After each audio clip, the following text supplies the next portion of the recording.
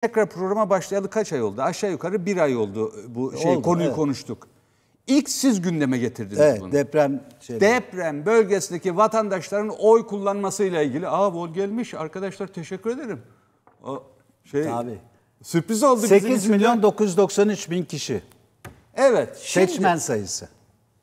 Bir dakika seçmen sayısı bu da. Bunların kaçı orada? Şimdi evet oraya işte bütün mesele oraya gelelim. Çalıştın mı biraz? Çalıştım. Buyur.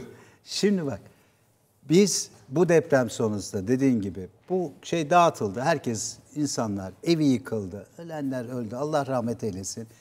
Kimin evi ağır hasar oldu, kimininki orta hasar şu bu derken ama bu 11 ilin çoğu boşaldı. Özellikle Hatay boşaldı. Özellikle Maraş boşaldı. Adıyaman boşaldı Evet. falan.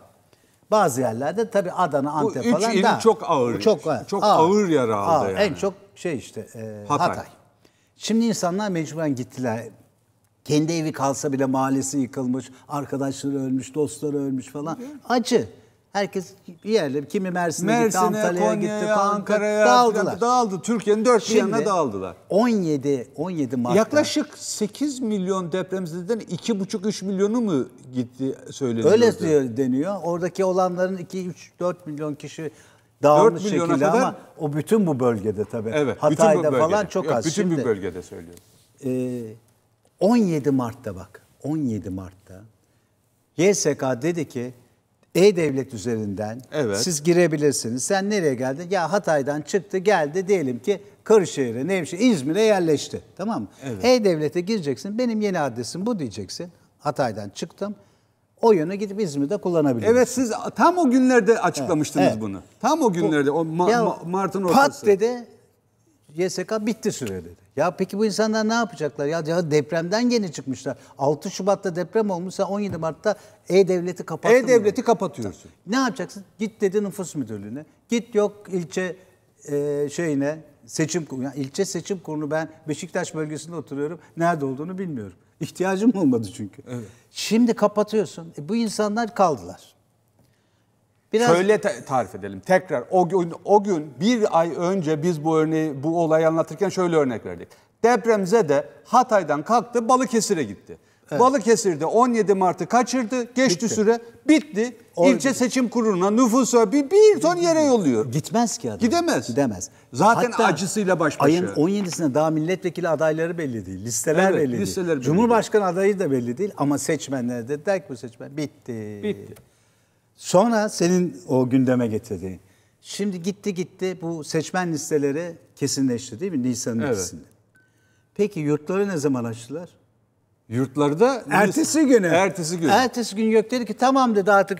Bunu şöyle söyleyelim. Hibrit. Biz depremi konu deprem bölgesindeki seçmenlerin oy durumunu konuşurken bu arada hükümet çok güzel adım attı YÖK'le beraber. Ee, Üniversite öğrencilerinin de oy kullanmaması için Şöyle, ne gerekiyorsa yaptılar. Şöyle, üniversite öğrencileri dediler ki yurtlar kapandı artık bu Memleketinize dönem gidin. memleketinize gidin. uzaktan eğitim. Böyle kapatacağız. Çünkü yurtları depremzedelere vereceğiz dedi.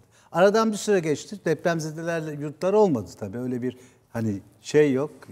Öyle bir ihtiyaç da fazla yok. Sonra dediler dediğin gibi herkes gitti. Bütün öğrenciler de girip E-Devlet'ten tekrar yurtta verecekken kendi memleketine aldı. Evet. Diyelim ki Trabzon'dan 17 geldi. Mart'a kadar bu işleri yaptı. İstanbul Teknik Üniversitesi'nde okuyorsa tekrar Trabzon'a Trabzon'a aldırdı. aldırdı. Sonra bütün bunlar kesinleştikten ertesi dediler okulu açtık. Okulu açtık. E, dön, çocuklar Trabzon'dan döndüler dön tekrar İstanbul'a. yurtlar geri. E, bir daha tekrar Trabzon'a gidip oy mu verecek? Ya şimdi bir o yüz Ya o, da o. Trabzon'a gidip kaydını alıp seçmen kaydını İstanbul'a O taşıması gitti lazım. işte gitti. O gittikten sonra açılan şey.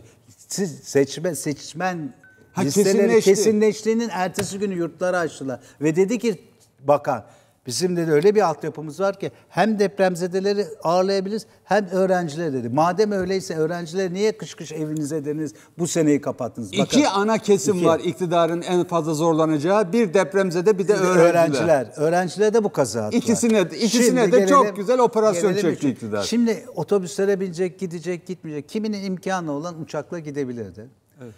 Hatay Havaalanı'nda 17 bak o ne desem 17 ilginç. Mayıs'a kadar kapattı. Çok ilginç. Şimdi- Hatay Havalimanı'nı 17 Aa, nasıl biliyor musun? Açık ama şöyle açık. Boş uçak, içi boş uçak. içi boş. Geliyor, iniyor. Dolu uçak kalkabiliyor. Dolu uçak kalkabiliyor evet. Dün burada da anlattım. Şimdi boş uçak, boş uçak, e, uçak havaalanı indiği zaman pisti daha az kullanırmış. Evet. Kalkan uçak pisti daha hızlanıyor ya, daha daha kullanır kullanır kalkıyor. Hatta mesela diyelim ki 3 kilometre, 3000 metre ise pist, kalkan uçak 1500. metrede kalkmaya başlarmış. O niyeymiş? Şundan kalkamazsa fren yapacak zamanı olsun diye. Evet. Yani pist o kadar uzun ki kalkış için hani herhangi bir aksaklıkta frene bassın kalkışı dursun. Şimdi inen uçak e, daha inecek. Ondan şimdi şunu söyleyebilirler. Ya işte 50 ton diyelim bir uçak yolcusuyla yakıtıyla falan e, vurduğu zaman işte 100 ton vuruyor. Alan zedeleniyor, alan kaldırmaz gibi bir gerekçe bulabilirler. Ama o havaalanını sordum ben. O çok zormuş o alanı yapmak. Biz burada kırdılar ya hani pandemi hastanesi diye Atatürk Havaalanı'nın pistini kırdılar ya. Ya bir pistte 2 metre 5 metresi aylar sürüyormuş. O devasa beton. Çünkü her uçaklar sürekli düşün. Ama babam 100 ton vuruyor bir betona. O beton Ya dayanır. bunu bunu şöyle söyleyelim. Şimdi bütün bu havalimanını tezgah. kapattılar ya. Evet, 17'sinde Ya, açıyorlar ama. 17'sinde. Seçim Şimdi depremde bir haftada açtılar Ha- Hatay Havalimanı'nı. Şimdi kapatıyorlar. Hatay'a insanlar Bakım yapacak. gelip oy Gelmesin kullanmasın diye mi bilmiyorum. Ama boş uçak iniyor, Ama dolu şey uçak söyleyeyim. kalkıyor. Bir şey söyleyeyim. Seçmen sayısına bakalım. Seçmen sayısı burada. Bir milyon. Arkadaş bir şey söyleyeyim mi? Bakın Ramazan ayı biz seyircilerimiz bizi bağışlayın ikimiz de tam böyle e, açıp şey programa giriyoruz. Şimdi burada şu aklıma geliyor Sayın Tezkan. Ya bu ay benim bildiğim kadarıyla şeytan genelde bu tür şey, operasyonlar çekmiyor. Şeytan da ıskartaya çıkıyor. Bu iş kimin aklına geldiyse bu operasyonlar, üniversite öğrencilerinin oy kullanma oranını düşürtmek, depremzedelerin oy kullanma oranını düşürtmek, işte 17'sinde kapatıp ondan sonra şey açmak filan. En sonda Hatay Havalimanı'nı filan kapatmak. Kimin aklına geliyorsa bu iş, arkadaş ona sesleniyorum, şeytana bahane bulmayın. Şeytan şu anda yok. Şeytan bile diyordur ki bu benim aklım, bu kadar operasyon benim bile aklıma Ya gelmedi. sana bir şey sorabilir miyim? Başka türlü düşünmüyorlar ki. Beyin böyle çalışıyor onların. İhale yasası kaç defa değişti? Bilmiyorum ki 100 küsür mü 200 200'e yakın. Niye değişti? Her ihaleye göre İhaleye bir göre şeye şey göre değil. değişti. Bunun bu bu bu bu kimin aklına gelir? Ya böyle ihale yapalım. Ben bir ihale düşünüyorum. İbrahim Bey'e vermek için sana uygun. Ya üniversite öğretim üyesi alıyorlar. Diyorlar ki boyu şu kadar olsun, kilosu bu kadar olsun. Zekatı şu olsun demiyorlar ama ya, boyu ya kilosu bir diyorlar. bakıyorsun bir kişiye yani tarih sınav açtık diyorlar. Bir kişi ona uyan bir kişi var. Onu alıyorlar. O da, o da ne tesadüf iktidarın çok yakını oluyor. Peki bunu düş hakikaten bu şeytani bir düşünce değil mi ya? Değil. Ya ben düşünemem Bir yani. şey ben söyleyeyim itiraz Bugüne ediyorum. kadar Bakın ben bunu görülmemiş. TV5'te söyledim Sayın Tezkan. Şeytan uzun süredir şunu diyordur. Bana bana bana bahane bulmayın. Benim aklıma bile bu kadar şey gelmez. Bakın ciddi söylüyorum. Şeytanın aklına bile gelmeyecek. Burada şu var. Bunu sizinle tartışmayacağım ama. Bu gerçekten ilahiyatçıların tartışması gereken bir konu. Ee, şeyi e, arkadaşa bir görüntü verdiniz de neyse. Ee, şudur. Dindarlığı, dini hassasiyeti bu kadar yüksek olan bir kesimin aklına bu kadar üç kağıt nasıl geliyor? Parantezi kapattım. Bunu Onu- ilahiyatçıların tartışması gerekiyor. Peki ben sana söyleyeyim. Ee, insanlar gerçekten gerçeklerden uzak hakikatler sunarak insanlara yani biraz önce söylediğim gibi post-truth siyaseti yaparlar ve insanları kandırırlar. Bunların yapamadıkları şeyi neye bağlarlar? Bu kadere bağlarlar. Her şeyi kadere bağlayan bir iktidar başarılar kendisi kötü bir şey olduğu zaman kadere bağlıyorlar. Hatay'ın da kaderi buymuş dediler. Şimdi bir milyon seçmen var. Belediye başkanı e, Kut- Lütfü Savaş açıklama yapmış. Diyor ki 500 bin seçmenimiz yok. Yok. Bak Evet. Hatay'da 500 bin eksik oy olacak. Halbuki 500 bin arkadaşlar, bu bunu çok büyük daha, bir rakam Daha ya. uzatsalar da ey devlet üzerinden siyasette devreye girseydi. Muhalefetin de suçu var burada. Burada aktif bir direniş göstermedi. Çok. Aa ne oluyor falan diye anlamadılar. Ya Belki bir ay önce siz bunu işte Evet. tam o esnada açıkladınız. Hiç kimse doğru bunu de, yok muhalefetten yok evet evet yapmadılar. hiç kimse yani. bir- hatta ben yani. burada ya Sayın Tezkan dedim bu çok önemli bir şey Ya dedim sırf ya. Hatay'da 500 bin. Topladığın zaman 8 milyon seçmenin belki 4 milyon oy kullanacak. Belki 5 milyonu, 3 milyon, 2 milyon, 1,5 milyon seçmen oy kullanamayacak. Belki de onların şey. yerine mühürsüz oy gelecek. Sayın Tezkan. Onların yerine ilahi bir el, Olabilir. pardon ilahi değil, kudretli bir el dokunabilir.